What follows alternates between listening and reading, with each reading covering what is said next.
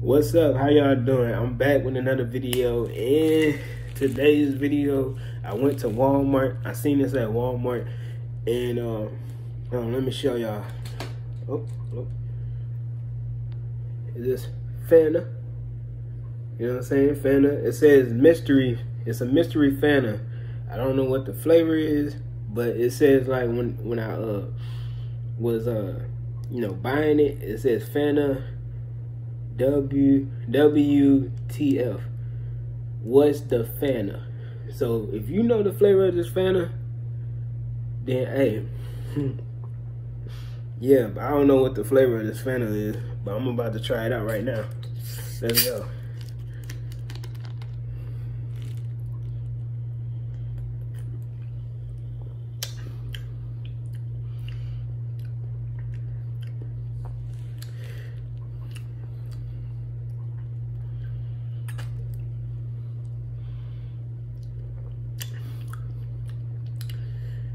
Actually, I'm gonna tell you something. I think this is it tasting like cream soda, cream soda, and everything, and real good too.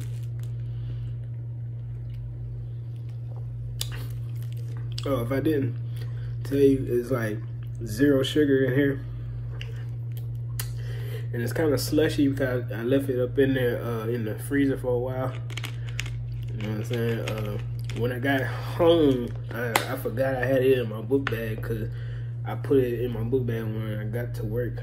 And then all of a sudden, when I took it out, I forgot I had this. So I said, let me put it in the freezer for let it get cold and everything, and then I do the review. Now, it's kind of tasting like cream of soda to me, but if if y'all if y'all taste that cream of soda, let me know, cause I think the cream of soda, but with blue dye. All right. See y'all in the next. I hit my throat. See y'all in the next video. All right, peace.